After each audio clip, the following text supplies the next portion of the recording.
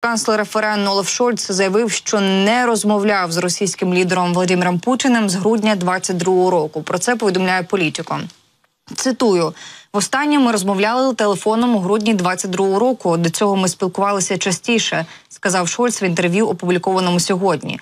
Він нагадав, що за декілька днів до того, як е, Росія почала повномасштабне вторгнення в Україну у лютому 22-го року, відвідав Путіна у Москві, де вони сиділи за нескінченно довгим столом. І Путін тоді турбувався про коронавірусну інфекцію. Шольц заявив, що після початку повномасштабної війни Росії та Україна намагалася вести е, переговори, але Москва не була налаштована серйозно.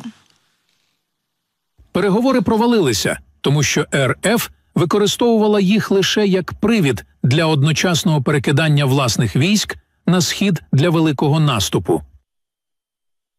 Канцлер наголосив, що Німеччина більше ніж будь-яка інша країна Європи підтримує Україну зброєю та боєприпасами. Цитую, лише на це ми витрачаємо понад 28 мільярдів євро. Це більше ніж у багатьох інших країнах разом узятих, сказав він. Політик пообіцяв, що Німеччина продовжуватиме робити це, а себто надавати підтримку стільки, скільки буде потрібно. Він додав, що Путіну не варто розраховувати на те, що підтримка України з часом зменшиться. Як повідомлялося, канцлер ФРН Олаф Шольц заявив, що використання прибутків від заморожених активів російського центробанку є виправданим у рамках міжнародного права. Наголошу на допомозі від е, Німеччини. Ми на початку згадували канцлера Німеччини Олафа Шольца. І е, дійсно сьогодні влада Німеччини поставила збройним силам України новий пакет допомоги. Точніше, не сьогодні, а сьогодні про це повідомлялося. До списку війшли дрони, важка техніка та снаряди. Відповідна інформація з'явилася на офіційному е, сайті німецького уряду. Україна серед іншого отримала зараз. Перерахую все те, що вказано. 14 гусеничних машин всюди ході в Вартхок, снаряди для Леопард 2 Про те, що сьогодні казав військовий експерт ем, Олександр Коваленко. Шість машин розмінування Вісент 1 два мостоукладачі Байбер Biber, одну машину евакуації Bergepanzer.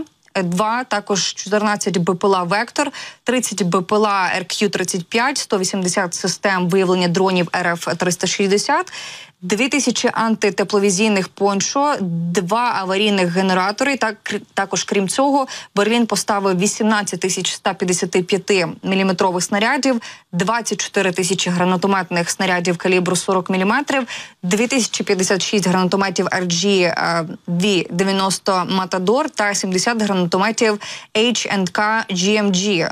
Німецька сторона вказала, що найближчим часом має намір передати силам оборони України ракети до систем ЗРК Петріот, 20 бойових е, броньованих е, бронемашин Мардер та командний автомобіль е, Бронко ATTC. Я ж нагадаю, що ще 19 березня Німеччина на засіданні Рамштайну анонсувала новий пакет військової допомоги Україні на 500 мільйонів євро. До цього сили оборони України отримали від німецького уряду пакет озброєння, до якого увійшли дрони та артилерійські снаряди. Разом з тим Берлін поки що на жаль не має наміру передавати Україні далекобійні ракети Таурус. Як часто канцлер е, Німеччини Олаф Шольц підтверджував відмову в Таурус Україні та чим це аргументував, ми це все прекрасно чули. І на жаль, е, страх ем, Шольца ем, першочерговий і не може переступити через свої е, по принципи. Зокрема, політичні, так е, в політичному контексті ми говоримо про побоювання ескалації з Російською Федерацією.